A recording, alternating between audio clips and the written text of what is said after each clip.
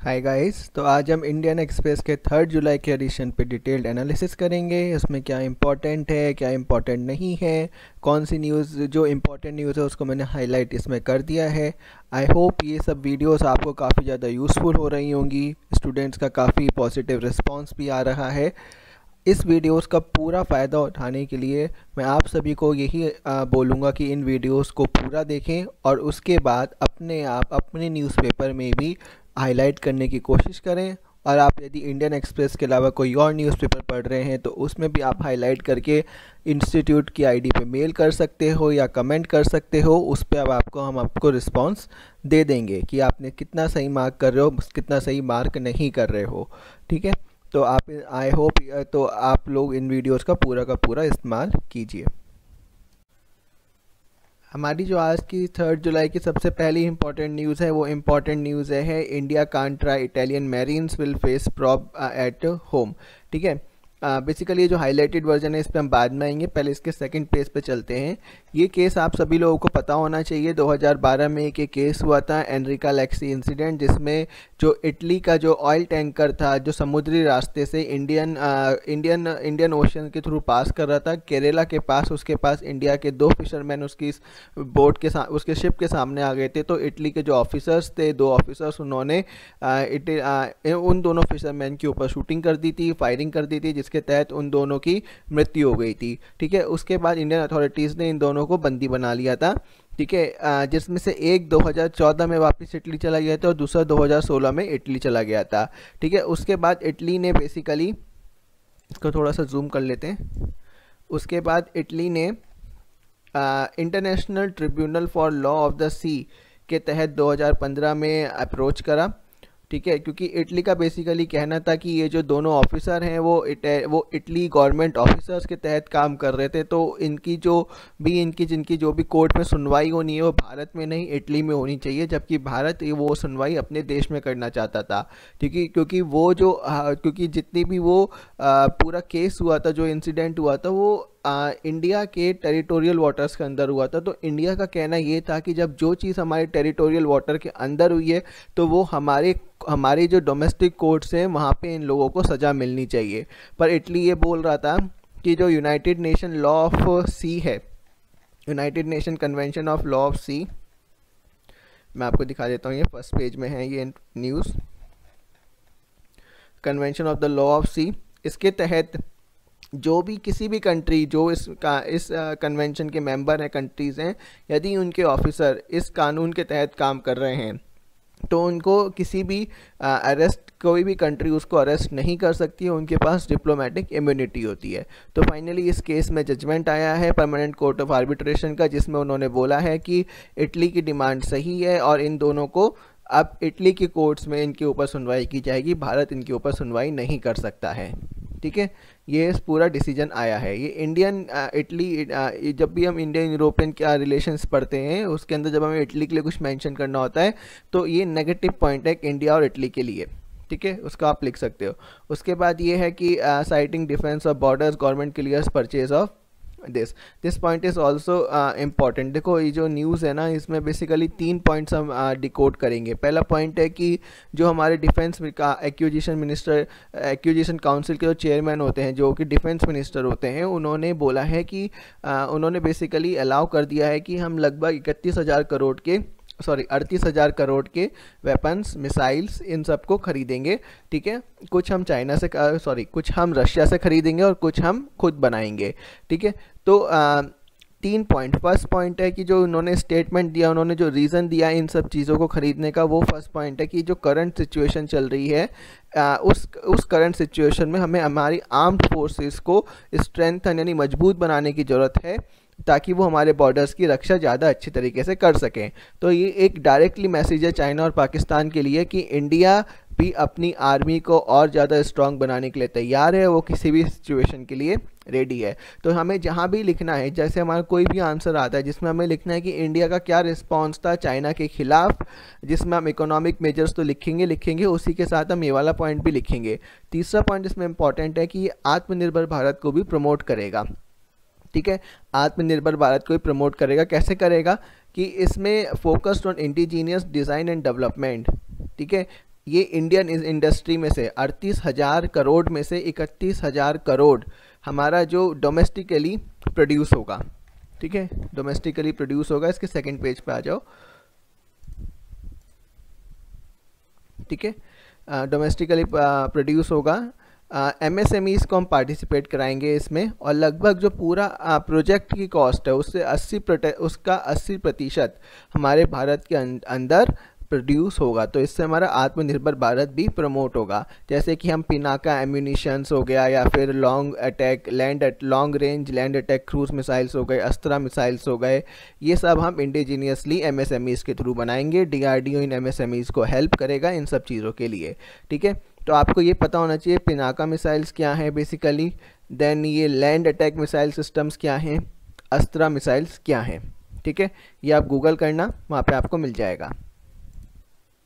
Right then uh, uh, उसके बाद हमारी जो इम्पोर्टेंट न्यूज़ है ये कुछ इम्पोर्टेंट नहीं है इसमें ऐसा ठीक है? देन ये digital strike to protect data basically जो आपका चाइनीज़ ऐप्स को बैन करा गया है। उस पर जो हमारे रविशंकर प्रसाद हैं, उन्होंने बेसिकली इसको एक डिजिटल स्ट्राइक का नाम दे दिया है। हालाँकि अगेन ये इंपॉर्टेंट नहीं है हमारे एग्ज़ाम पॉइंट ऑफ़ व्यू के लिए।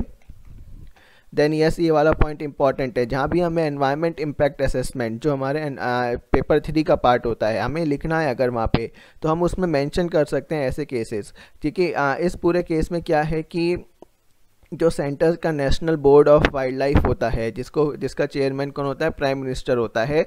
आ, उन्होंने कोई डिसीज़न लिया है कि जो गोवा का Bhagwan Mahavir wildlife sanctuary park है वहाँ से तीन प्रोजेक्ट बनाए जाएँगे। पहला प्रोजेक्ट है कि रेलवे लाइन वहाँ से पास होगी। दूसरा है कि वहाँ पे जो N H high N H four national highway four होता है उसका उसका चौड़ीकरण उसका चौड़ीकरण होगा वहाँ पे पूरा उसको ठीक है? देन उसके बाद वहाँ पे एक इलेक्ट्रिक इलेक्ट्रिसिटी लाइन भी बनाई जाएगी। तो इसमें जो गोवा स्टेट क्योंकि हर क्योंकि स्ट्रक्चर क्या है? वाइल्ड लाइफ प्रोटेक्शन एक्ट के तहत एक बनेगा national board for wildlife और हर स्टेट में होगा एक state board for wildlife national board board of wildlife का चेयरमैन होगा आपका प्राइम मिनिस्टर और state board of wildlife का प्रेसिडेंट होगा, आप चेयरमैन होगा आपका स्टेट का चीफ मिनिस्टर तो इसमें state board of wildlife के जो मेन मेंबर्स हैं गोवा के, जो मेन एनवायरमेंटलिस्ट हैं, उनका कहना है कि national board of wildlife ने हमसे ये चीज़ डिस्कस करी ही नहीं और हमसे बिना डिस्कस करे इस चीज़ का परमिशन दे दिया है। तो आप यहाँ पे ये एग्जांपल्स कोट करोगे कि एनवायरनमेंट इम्पैक्ट असेसमेंट को यदि हमें ज़्यादा इफ़ेक्टिव बनाना है तो हमें उसको मोर उसको हमें ज़्यादा से ज़्यादा समावेशी बनाना होगा, ज़्यादा से ज़्यादा उसको हमें इंक्लूसिव बनाना होगा। ठीक है तो आप ये एग्ज़ाम्पल कोट कर सकते हो। इसके अलावा भगवान महावीर वाइल्ड लाइफ सेंचुरी ये आपको याद रखना है कहाँ पर है? गोवा में है। ठीक है? इसका पेज टू में भी कुछ इंपॉर्टेंट न्यूज़ है। दिस तो थोड़ा सा आपको ये यहाँ पे याद रखना है कि ये जो प्रोजेक्ट्स हैं बेसिकली एनवायरमेंटलिस्ट हैं उनका कहना है यहाँ पे कि इससे क्या क्या हो सकता है। जैसे ये क्या कर सकता है? Fragmentation of important wildlife refuges मतलब जो वाइल्ड लाइफ कॉरिडोर्स हैं उनको आ, उनको उनकी उनको फ्रेगमेंट कर सकता है उनको रास्ते उनके रास्ते तोड़ सकता है एक डिस्टर्बेंस ला सकता है उनके रास्तों में। ठीक है? इकोलॉजिकल इकोसिस्टम प्रोसेस में डिस्टर्बेंस हो सकती है सॉइल क्वालिटी डिग्रेड करेंगे डिप्लीट एक्यूटिक रिजर्वॉयर्स ठीक है?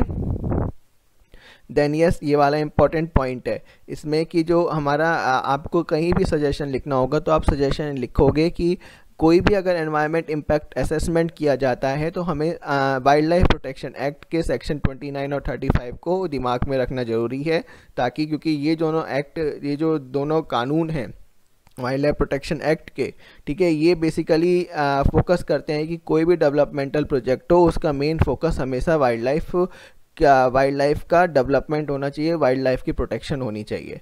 ठीक है? उस प्रोजेक्ट से वाइल्ड लाइफ को कुछ ना कुछ फ़ायदा होना चाहिए, तभी उसको अलाउ करने की परमिशन मिलनी चाहिए उस प्रोजेक्ट को। ठीक है? देन इसमें और कुछ इम्पोर्टेंट नहीं है। देन ठीक है, ये हो गया फ़र्स्ट सेकंड पेज देन नीचे आ जाओ इसमें। थर्ड पेज दिल्ली का लोकल पेज है, इसमें सब कोरोना और वहाँ की लोकल कुछ काम का नहीं है इसमें आज, ठीक है? देन नीचे आओ इसमें। प्राइवेट ऑपरेटर्स की हम ऑलरेडी बात कर चुके हैं इसमें। हाँ ये कुछ इंपॉर्टेंट पॉइंट है कि uh, जो उन्होंने फ़ायदा बताया है। फ़ायदा ये बताया है कि हमें जब प्राइवेटाइजेशन करने से एक तो ट्रेनों की पंचुअलिटी काफ़ी ज़्यादा इम्प्रूव हो जाएगी और जो क्वालिटी ऑफ़ फ़ूड सर्विस है या फिर जो क्वालिटी ऑफ़ कोचिज़ है क्लीनलीनेस ये सब इम्प्रूव हो जाएगी। ये सब कॉमन बेनिफिट्स हैं आप सबको पता है। इसमें कुछ भी ज़्यादा इंपॉर्टेंट नहीं है। अपोजिशन ने ये बोला है कि इससे बहुत सारे गरीब लोगों की नौकरी जाएगी और जो हमारे भारतीय गरीब दोस्त हैं, उन गरीब लोग हैं माइग्रेंट्स हैं रेलवे उनका ट्रैवल करने का एक, इकलौता ज़रिया है, ठीक है? तो रेलवे उसको छीन रही है उससे, ठीक है? देन इसमें नीचे आ जाओ आप? यस ये वाला थोड़ा सा नेशनल पार्क आप लोग याद रखना मोलैम नेशनल पार्क ये इंपॉर्टेंट है, ये पूछ सकते हैं कौन से स्टेट में लाई करता है। तो ये गोवा में लाई करता है, ठीक है? देन इसमें और कुछ इम्पोर्टेंट नहीं है। देखो, ये सारी न्यूज़ ना आपको स्किप करना सीखना होगा, क्योंकि ये वन टाइम न्यूज़ बहुत इंपॉर्टेंट लगेगी। बेंगलुरु बेड क्राइसिस क्या है? और ये तबलीगी जमात का क्या इशू चल रहा है? ठीक है, ये वन डे न्यूज़ है। हमें इसमें ज़्यादा डीप में नहीं जाना है, क्योंकि यूपीएससी में पूछा नहीं जाएगा। तो बहुत सारी ऐसी न्यूज़ होंगी जो आपको इंपॉर्टेंट लगेंगी बट वो इंपॉर्टेंट नहीं है। फोकस उन्हीं न्यूज़ पे करो जो न्यूज़ काफ़ी टाइम से न्यूज़पेपर में आ रही है। ठीक है, आज इस पर बहुत बड़ा इशू चल रहा है कुछ। जैसे ये वाली न्यूज़ है, ये वन टाइम न्यूज़ है बट इंपॉर्टेंट है। मेंस में आप कहीं भी यूज़ कर सकते हो कि जो हमारा सेंट्रल पब्लिक वर्क्स डिपार्टमेंट है, जो मिनिस्ट्री ऑफ़ हाउसिंग के तहत आता है ministry of housing and urban affairs के तहत आता है, उसने 1993 में बैन लगाया था कि हम जितने भी कंस्ट्रक्शन वर्क हैं, उसमें टिम्बर का इस्तेमाल नहीं कर सकते हैं। पर अभी उसने ये बैन हटा दिया है तो अब आपको इसका बेनिफिट्स पता होना चाहिए। बेनिफिट्स क्या है सबसे पहले तो कि ये एक वुड बेस्ड इंडस्ट्री की डिमांड को बढ़ाएगा। ठीक है पर्टिकुलरली इन रूरल एरिया जिससे हमारी जो लोकल इकोनॉमी है, जैसे गाँव में या छोटे शहरों में, उसको एक बूस्ट मिलेगा, उसको एक इंक्रीज़ होने को मिलेगा। ठीक है, इसके साथ साथ लार्ज स्केल एम्प्लॉयमेंट क्रिएट होगा फार्मर्स जो कि उनकी ज़मीन बंजर पड़ी है या फिर जो यूज़ नहीं हो रही है, वहाँ पे वो अपना पेड़ वगैरह उगाना शुरू कर देंगे अब, क्योंकि एक डिमांड क्रिएट होगी तो उसका भी एक मार्केट बेसिकली फार्मर्स को एक एडिशनल इनकम प्रोवाइड करेगा ये। ठीक है दूसरा बेनिफिट है कि वुड एक वर्सेटाइल रिन्यूएबल कंस्ट्रक्शन मटेरियल है, जिसकी लाइफ साइकिल इकोनॉमिक कॉस्ट काफ़ी ज़्यादा कम होती है as compare to cement and other construction material next benefit आपका ये है कि जो हमारा U N F C C में नेशनल डिटरमाइंड कंट्रीब्यूशन टारगेट है, जिसके जो टारगेट हमने रखा है कि हम दो हज़ार तीस तक लगभग टू पॉइंट फाइव से three billion metric tonne of C O two मतलब अपना हम पेड़ पौधे इतने बढ़ाएँगे ताकि हम एडिशनल टू पॉइंट फाइव से थ्री मिलियन टन CO2 को एब्जॉर्ब कर सकें तो वो इसमें भी हमारी मदद करेगा। ठीक है बेसिकली ऐसे ऐसे ऐसी न्यूज़ आपको एनवायरनमेंट के पेपर में जीएस पेपर थ्री में आपको काम आएगी, जिसमें आप इकोनॉमी में भी बता सकते हो कि हमारी गवर्नमेंट ने इकोनॉमी को प्रमोट करने के लिए क्या किया है और क्या नहीं किया है। ठीक है देन ये पॉइंट है रशिया में जो अभी प्लेबोसाइड चल रहा था, ठीक है, पिछले सात दिनों से, उसमें पुटिन को पूरा जो हमारा इसका पीएम है रशिया का, ठीक है, व्लादिमिर पुतिन उसको 2036 तक प्राइम मिनिस्टर डिक्लेयर कर दिया है। ठीक है? मतलब वो 2024 में जो उसका टेन्योर ख़त्म होने वाला है, उसके बाद वो दो अगले छः अगले 12 साल तक भी बिना वोट के प्राइम मिनिस्टर रह सकता है। तो ये उनके संविधान में एक चेंज आया है। ठीक है? देन अभी जब पाकिस्तान में कराची में बॉम्ब विस्फोट हुआ है, उसमें पाकिस्तान ने बेसिकली इंडिया के ऊपर ब्लेम डाला है कि अटैक इंडिया ने कराया है। तो जो ये स्टेटमेंट है वो इस स्टेटमेंट को यूएनएससी में कंडेम कराना चाहता था, इस यूएनएससी के मेंबर्स के द्वारा पास कराना चाहता था, पर इस स्टेटमेंट को यूएस और जर्मनी ने दो बार रोक दिया है, ठीक है? मेन रीज़न ये है कि सबसे पहले वो बोलना चाहिए क्योंकि इसके साथ साथ जो पाकिस्तान के प्राइम मिनिस्टर हैं मिस्टर इमरान उन्होंने अलकायदा को भी मार्शियर मतलब शहीद शहीद घोषित किया था, ठीक है? तो इसके दो ऑब्जेक्टिव हैं। सबसे पहले है कि आप एक आतंकवादी को शहीद घोषित कर रहे हो, और दूसरा है आप इंडिया के ऊपर इल्ज़ाम लगा रहे हो। तो ये देखा जाए तो ये काफ़ी इंडिया के लिए एक डिप्लोमेटिक जीत है और आप इसको इंडियन फॉरेन पॉलिसी में लिख सकते हो कि यस हमारी इंडियन फॉरेन पॉलिसी जो डिप्लोमेसी हो काफ़ी ज़्यादा स्ट्रॉन्ग है, ठीक है? और इसका ये एग्ज़ाम्पल आप कोट कर सकते हो, ठीक है? नेक्स्ट इंपॉर्टेंट न्यूज़ है आपकी वेस्ट बैंक वेस्ट बैंक जो कि पैलेस्टाइन और इसराइल के बीच का काफ़ी बड़ा इशू है, ठीक है? West Bank Palestine Palestine West Bank को अपना हिस्सा बताता है इसराइल वेस्ट बैंक को अपना हिस्सा बताता है, ठीक है? तो अब इस पे आपको पता होना चाहिए, इंडिया का क्या स्टैंड है। इंडिया का हमेशा स्टैंड ये रहा है कि इसमें किसी भी तीसरे देश को इंटरफेयर नहीं करना चाहिए। ये एक बायलेटरल इशू है और दोनों देशों को आपस में बैठ के बात कर लेनी चाहिए इसके लिए रिगार्डिंग और वो इंडिया हमेशा टू स्टेट सॉल्यूशन को फेवर करता है ताकि वहाँ पे पीस यानी शांति बनी रहे। ठीक है? अब यहाँ पे आपको टू स्टेट सॉल्यूशन एक्चुअली पता होना चाहिए। यदि आपने स्टैटिक पोर्शन में आ, इंडिया इसराइल रिलेशन पढ़ा है तो और आपको इंडियन पैलेस्टाइन इशू पता है तो आपको ये टू स्टेट सॉल्यूशन समझने में आसानी होगी। ठीक है देन उसके बाद कंटेनमेंट जोन्स के ऊपर है माइक्रो कंटेनमेंट जोन्स ये हम बहुत बार डिस्कस कर चुके हैं बट हाँ इसमें मैंने कुछ इंपॉर्टेंट हाईलाइट कर दिया है। हालाँकि यूपीएससी के पर्पज़ से इंपॉर्टेंट नहीं है बट स्टेट सर्विसेज़ में ये पूछा जा सकता है तो इसको आप सिर्फ़ हाईलाइटेड वर्जन को आप पढ़ लेना इसमें। ठीक है देन ये हम इस पर हैपरिन जो मेडिसन है, जिसका 211 प्रतिशत से रेट इंक्रीज़ हुआ है, जो हमने कल भी बात करी थी उसके बारे में एक ये पॉइंट आया है। वो इंपॉर्टेंट पॉइंट्स मैंने इसमें हाईलाइट कर दिए हैं। इसमें ज़रूर पढ़ लेना कि एनपीपीए नेशनल फार्मास्यूटिकल जो एसोसिएशन है, उसको किस कानून के तहत प्राइसेस को कंट्रोल करने की या प्राइसेस को एमरजेंसी कंडीशन में बढ़ाने की पावर दी जाती है तो ये है ड्रग्स प्राइसेस कंट्रोल ऑर्डर 2013 के तहत उसको प्राइस बढ़ाने की पावर दी जाती है। तो ये आप हाईलाइटेड वर्जन इसका पढ़ लेना। सिर्फ़ हाईलाइटेड वर्जन पढ़ लेना, ज़्यादा पढ़ने की ज़रूरत नहीं है इसमें। ठीक है? देन ये स्किप कर देना इसमें। आज के एडिटोरियल्स में ऐसा कुछ भी नहीं है। सब कुछ जो हम ऑलरेडी पढ़ते आ रहे हैं कि इंडिया चाइना को कैसे टैकल करना चाहिए, ये सब ही है इसमें। बिल्कुल इंपॉर्टेंट नहीं है आज के ओपिनियंस आप इजीली इनको स्किप कर सकते हो। ठीक है? देन इसमें और कुछ इम्पोर्टेंट नहीं है। नीचे आ जाओ इसमें। ये हमने बात कर लिया है बेसिकली जब जब यूनाइटेड किंगडम ने बोला कि जो भी हांगकॉन्ग के रेजिडेंट्स जो चाइना के कानून के तहत अरेस्ट किए जाएँगे, वो इजीली यूनाइटेड किंगडम में आ सकते हैं। उनको यहाँ पे वीज़ा में कोई प्रॉब्लम नहीं होगी, वो यहाँ रह भी सकते हैं और वो यहाँ पे काम भी कर सकते हैं। ठीक है? तो इस पे चाइना ने स्ट्रॉन्ग रिएक्शन दिया है, जिसके बाद ऑस्ट्रेलिया ने भी ये बोल दिया है कि हांगकांग के रेजिडेंट्स हमारे यहाँ आके भी रह सकते हैं और हमारे यहाँ भी काम कर सकते हैं।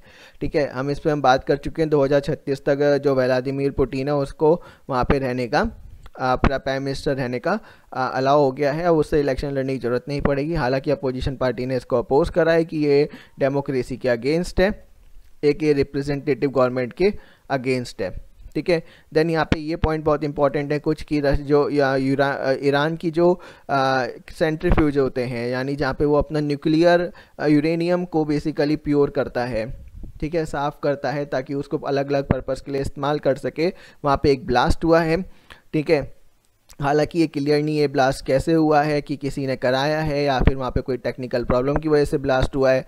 अच्छा न्यू थोड़ा सा याद रखना U P P C S U P S C में इंपॉर्टेंट सिटीज़ भी पूछी जाती है। पूछा जाता है, ये सिटी कौन सी कंट्री में स्थित है? तो ये नटांज ये इंपॉर्टेंट सिटी है, इसको नाम याद रखना। ये ईरान, इराक सॉरी ईरान में एक इंपॉर्टेंट सिटी है, और काफ़ी ज़्यादा टाइम से न्यूज़ में भी है नटांज ठीक है?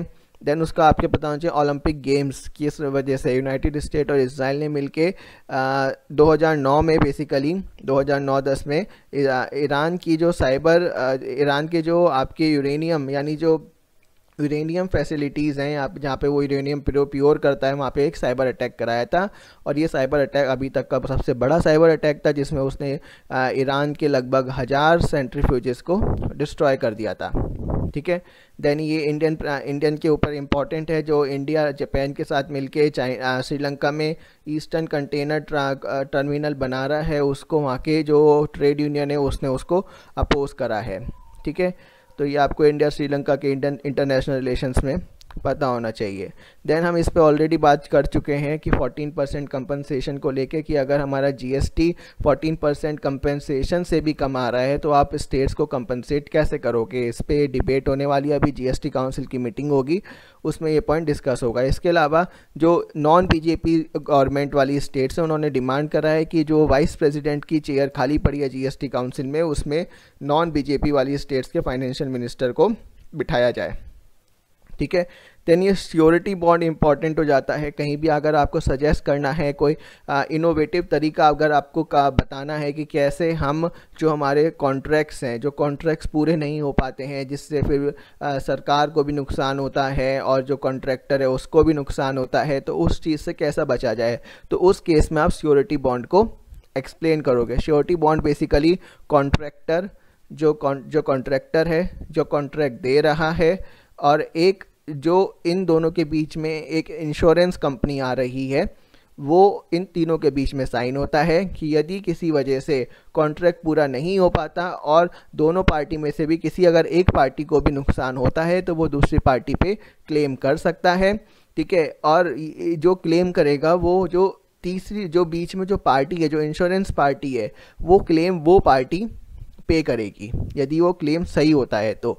और ऑब्वियसली इस रिटर्न में जो कॉन्ट्रैक्टर है उसको प्रीमियम भी देना होगा इंश्योरेंस कंपनी को। अभी तक हम इस श्योरिटी बॉन्ड का इस्तेमाल नहीं करते हैं बट हम इसको श्योरिटी बॉन्ड को हम इस्तेमाल अब करने के लिए श्योरिटी बॉन्ड को इस्तेमाल करने के लिए अब ये डिबेट स्टार्ट हुई है।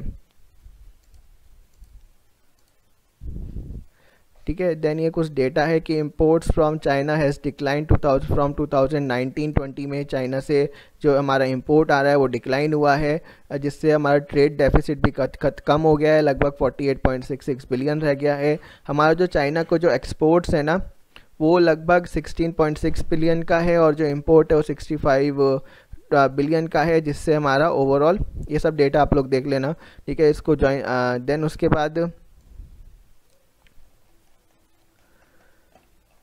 ठीक है यही सब इसमें इंपॉर्टेंट न्यूज़ है, इसमें और कुछ ज़्यादा इंपॉर्टेंट नहीं है आज के पेपर में, ठीक है? बट इन सब के नोट्स ज़रूर बना लेना, ठीक है? और किसी को कोई भी डाउट हो, वो कमेंट कर सकता है या मेल कर सकता है। Thank you